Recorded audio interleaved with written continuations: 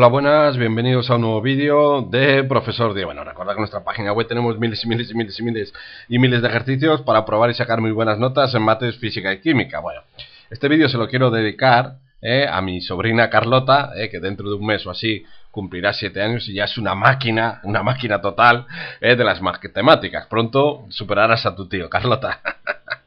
Bueno, entonces vamos a hacer este ejercicio ¿eh? y bueno, recordarte, Carlota, la próxima vez que vengas a verme, ¿eh? de paso, tráeme unas rosquillas, esas rosquillas tan ricas que haces. Pues venga, vamos a hacer el problema.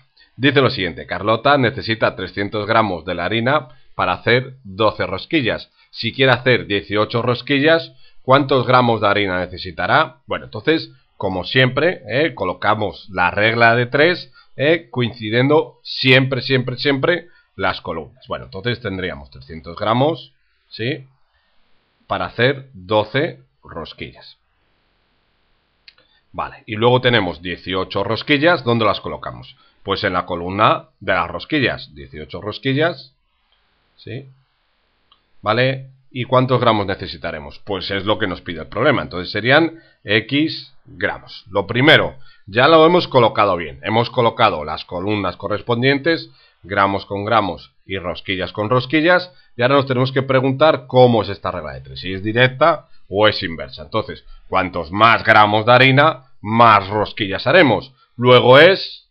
Venga, muy bien en casa. La regla de 3 es directa. Más y más directa y menos y menos también sería directa. Bueno, entonces, vamos a por ello. Entonces lo vamos a resolver con nuestro truco. ¿Vale? ¿Os acordáis cómo era el truco para resolver reglas de tres directas? Bien, muy sencillo.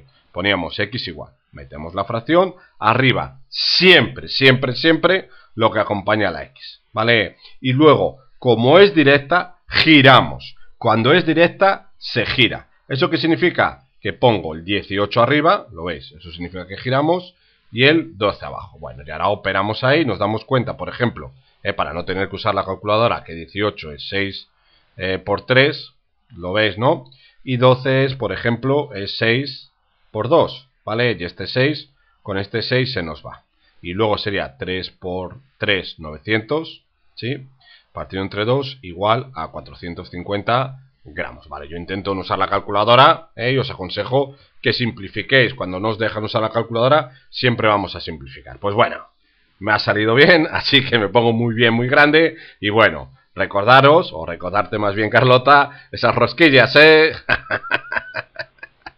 Venga, nos vemos en el siguiente vídeo. Venga, nos vemos.